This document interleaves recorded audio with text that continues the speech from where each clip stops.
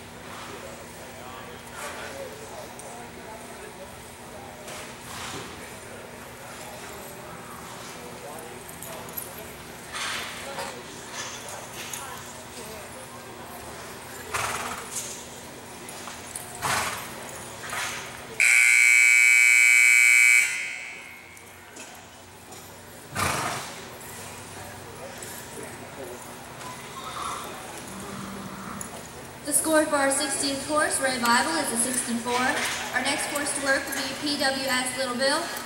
Cat's Little Star 09, please, you're on deck. Take your time, please be getting ready.